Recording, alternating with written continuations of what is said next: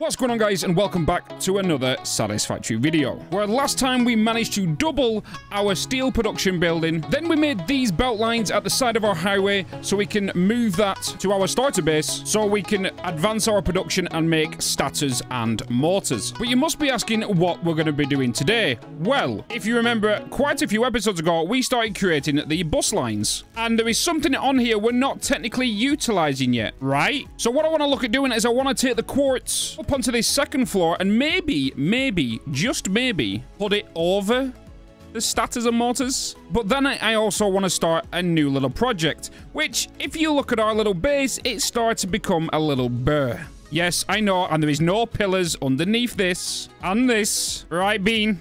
Do you want to help me? You and your friends? So the first thing I want to do today is a little bit of deconstructing. Yes, not constructing, deconstructing, because this base has a lot of open areas. And the reason for that is because I've wanted to keep it open so you guys can visibly see what I'm doing when I'm doing a build. But now it's time to start doing some decorating. So what I'm going to do is these two strips here, so this one and this one, all the way across there, and all the way down to water level is we're going to split the building in half.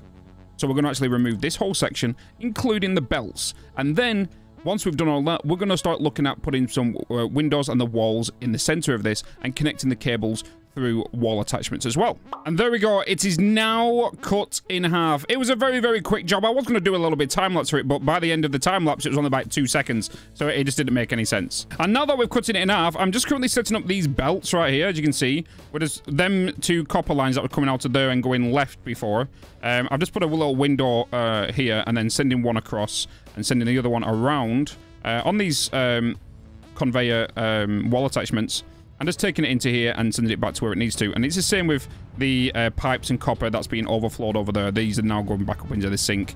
Um, so I do actually just... Well, actually, I did realize that these pipes are not actually being stored anywhere because as we did the um, pipes last episode, we didn't actually send them to a storage. They're actually just being sunk as they're being consumed here for the stators. So I do need to add that into that, but that can come a little bit later. Let's connect that to there. So you're coming through on a wall outlet, well, a double wall outlet. And then I need you to connect up to this, which will then power this whole side, because this is kind of like a main connector, I suppose. So now everything should kind of be up and running, I think, maybe. Uh, well, it doesn't look like it. So which one is the main? Actually, no. What an idiot, Bitz. It's because I, I've not connected this up to the actual power of this building. Ignore me. Ignore me. I'm a melon. Now we've got power. They're all green. For now. For now. Now, um, I need to... Oh, yeah, we made this little platform. Now I need to look at... Um, I think... Does this hole need to be here? I don't think it was. I think it was just for me to get out, right? So we could actually put that there. And I don't think there's anything else on this floor that needs to come across. So we could technically now just fill this whole section here with walls. So we can just block all this off and say this is a job done on this floor. Now, what I want to look at is the next floor, right? I think we've done that floor. Uh, actually, I need to do that bit. Down. Bits down, not up. So now let's look at this floor. So I need to bring over... I'm taking a gamble every time I do that. So you need to go across here. So I want to get a wall, a double wall. Put you to there. You're just a one. So I just need to put you to a one. Let me just grab that again. Hold on. Right click. Replace you with the hold control. Oh, god damn it. I did the wrong one. Damn it. There you go. Replace that one with that one. Now I can connect you up to there, connect you up to this window, and put you there. And then you there. And then we can just send that straight through and connect these back up. And then, like before, Bob's your uncle. I need to stop saying that. So let's kind of just put this into here. Oh, hello. Hello. Hello. That into there. Right. We good now? We good? Lift. Thank you. We're good for power here. Sweet. And is there anything else? Oh, yeah, there is. This end. So with this end, I actually need to uh, change the angle of this now. So I'm just going to take this all the way back, strip it back. Uh, Mark 3 belt. I'm just going to place you into the middle, take you back by two, and take you all the way down here. And then you're going across there, which I think is being sunk. Or is this the plates? So yeah, it was the plates on this line. So, because I thought it was, uh, they were coming from that way. But we've done this section now, I think. I think we can just remove you now. And then we could even fill this whole place with walls. And then we can start looking at what we want to put in the middle. Actually remove that, because that was my little landing pad. All right, there we go. Walls done, dusted. Um, oh, I actually need to get to the other side now. How did Bitz get to the other side? He jumped. Lol. God damn it. Okay, so after about 20 minutes or so, I've come up with this kind of idea for the center. You can see that I've used the frame pillars and the beams just to kind of create like some kind of structure around the belts. And I've also done the same with the ones down the bottom, and we've kind of created a bridge to kind of come across. Um, okay, this doesn't seem right. I'm currently underneath the rotors and frames right now, and I've just noticed we have an empty belt, and this is an input as well. So, what are you meant to be? You're meant to be plates. Wait, no! Crap! What were you meant to be? Oh, no. that means I've got to re- Oh, you absolute spanner. So the plates was actually meant to go over to that line. So I need to bring this now, um, you into here. So this is meant to be plates. Which means that you... Are you you're a smart splitter, are you? Yeah. Left is to go rods. So center now needs to be overflow. You you can just be none. And then we need to bring a Mark 3 um, to basically here. So let's actually grab ourselves a stackable conveyor pole. Put you there. Move you over by two. And then let's put you one at the end of here as well. And then connect you up to there. Bring you across. Because you're technically an, an overflow, right? So these rods actually need to do the screws and the actual uh, frames themselves as well. So I've got to basically put this down and then I've got to remove all the goddamn um, lifts so I can actually remove the plates. Are you full of plates? Six and six, six and six. But you're full of plates on there, right? Are you not being sunk down here? Why are you not moving? Wait, why are you not moving? Oh, we just don't have any power at all down here? Hello? Oh, no. What is this? What have I done? What have I done? Wait, that's the storage, isn't it? Oh, yeah, we need to just put power across here. Oh, God, I panicked. I thought I'd just put plates on near enough every single one of my lines. Okay, so what I need to do is I need to get a power node. Like, now. You can come here. Oh, I'm panicking. I'm panicking. I thought I did a goofed. I kind of did goof, but I'm kind of fixing it. So I just need to connect that wire there, connect you up, and now we should have power back on that side. Yes, I see movement. Cool, cool, cool. Now, we need to make sure everything's okay. Right, these are coming down here. The rods are finally moving through, which means the sink's now moving through, which then is going to clear up these plates out of here. But hopefully... Oh, there's plates on this line. There's plates there's plates on this line. I'm going to have to remove them all just to make sure there is nothing on there. And there we go. We now have things back up and moving. Jesus holy spanners. Um, yeah, that was a little bit of a pain. Uh, but now we're just going to wait for all these to feed back through. And yeah, we should be golden. So, next thing I want to start looking at is start looking at maybe changing the front face of the building and give it some form of entrance and uh, exit. Right? Right? He's just sitting there just chilling with his coffee. is, is that good coffee? How about you forget what I'm doing and you focus on your problems? Because you keep seeming to mess up. Your spoon. Wow, so that was rude. Very goddamn rude. So, yeah, back to it. Let's start on with the front of the uh, front of the base. Do you know something? I cannot believe myself sometimes. I honestly cannot believe it. So, I started building the front of the base and all this kind of stuff, and I was on the other PC doing the time lapse and recording, and I didn't hit record. so anyway, I started work on the front. As you can see, we've kind of added some form of structures. We've added some glass, some pillars, some form of depth to the front of the building as well. Um, and I wanted to kind of show you a cool little trick that I found up from one of our community members called Popcac, who actually figured out how to do some cool stuff with doors. So I'm going to show you. So all you need to do is place this say around, depending on the size where you want it. For example, like here.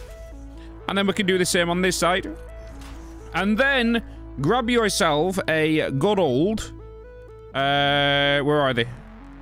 Walls, automated gates, and then place this at the end of here. And then at the end of there, and then what you're going to get is, get is some form of like pneumatic door. It kind of looks cool. Look at this. Right. But then we could take it to another level if we wanted to. How trippy and cool is that, right? And then you can just kind of hide that with beams, whatever, remove all of this kind of stuff. And yeah, it's cool. Uh, excuse me? What are you doing, Bean?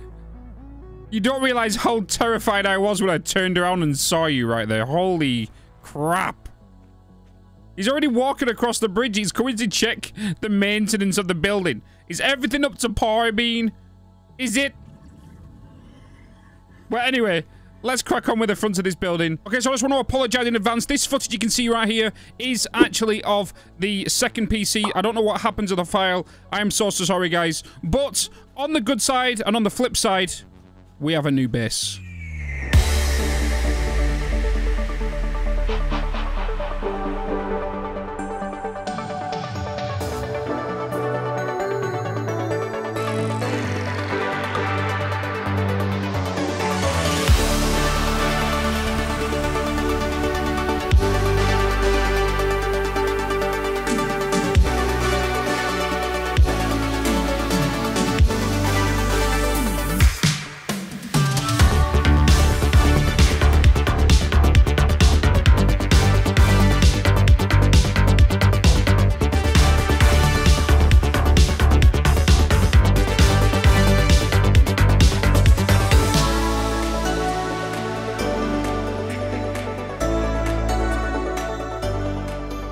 There we go, guys. It's a thing of beauty. Hopefully you had a little, little, little montage there.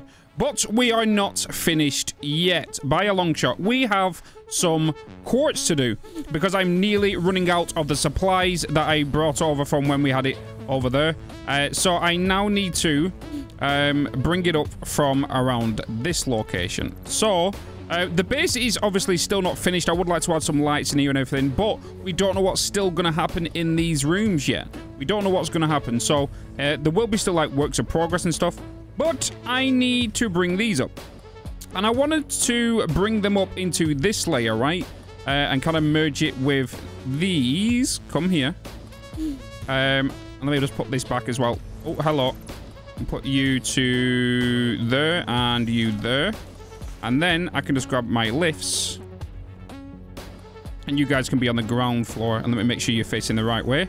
Now I can just bring these along here and get them sent upstairs. Now that I've got these upstairs, let's head up into the area because we need to figure out how many machines and whatnot we're going to need. So, I need to put down a constructor. Look at the quartz, crystals, and we're doing 37.5. So if we do uh, 270 divided by 37.5 is 7.2 constructors.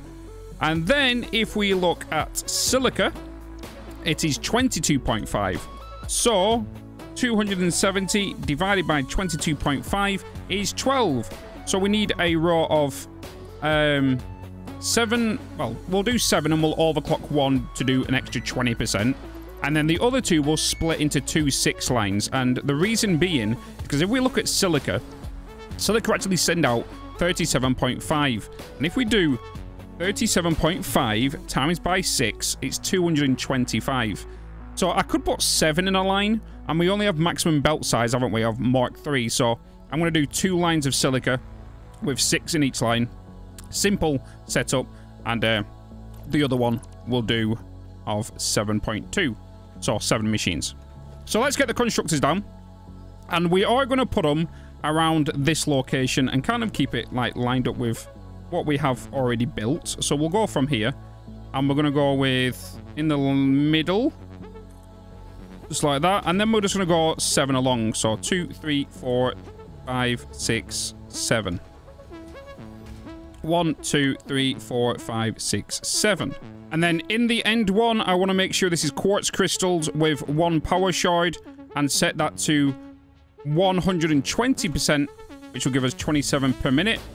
Um, and then I just want to start putting down logistics, some conveyor holes here, and start bringing these into here so we can split them on the conveyor line. And then downstairs, I'm just going to bring a lift down just so I can kind of get my bearing straight. And then I want to get a splitter facing towards me with the input on the opposite side. And then to just line that up just there. Maybe a bit too far. So it's in the center. I just needed to push it to the left a little bit. So there. And I can bring this down, grab it again, and then hook it onto the actual splitter itself. And then we need to do that with all of these down here. Once we've done that, just put the lifts down to all of our uh, splitters. Just to make sure that there is seven. Yep. Then we're going to bring our first line in. And this one is just going to go straight into here. And we're going to connect you up all the way along. Whilst I'm here, we know the machines are there. So what I'm going to do is I'm just going to put the power cable at the side of all of them machines. Uh, well, the side of the lift, sorry. So we can kind of do it like this. Because I don't mind the cables coming through this. Uh, obviously, my rule of thumb is if if a item is a moving item, for example, like this, you know, this kind of thing uh, is not ideal, right? That's not that that's a no-no for me. But anything like anything stationary can go through. That's that's kind of cool for me. Um, right. So now we've done that, I just need to connect these up, um, and then connect this up to the power grid, and we can start on the quartz crystal. Oh yeah, don't forget to put the uh, the recipe in them all as well, which I just nearly forgot. And then on the output side, simple as always, just grab ourselves some merges, get it facing down to where we need to head to, just like this. Connect up these output belts, and then just put it straight into a storage. Stop snapping. Stop. There we go. And that is the quartz crystals done and dusted. Now we just need to do it with the silica. And we just need to do exactly the same. But we just need to do six constructors, six constructors, and then just get the um, line of quartz, put a splitter down and split it between both lines. And then that is it. And there we go. Silica is now made. I wasn't going to go through the whole tedious process of just quickly doing that setup again. Just because only thing we needed to do different was add a splitter here. That's literally it. So this splitter is bringing 270 down, and then 135 is going that way, 135 is going that way into the six constructors. And that is it. Like, that's all we needed to do with that. Simple, simple setup. And then I've got a storage here for the silica, storage there for the silica, and quartz right here. And then we've also got the mortars and stators over here, which you can find out here in the last episode. Because unfortunately, that is going to be it. And if you want to check out the playlist, check the playlist out up here for the full series. And as always, keep smiling.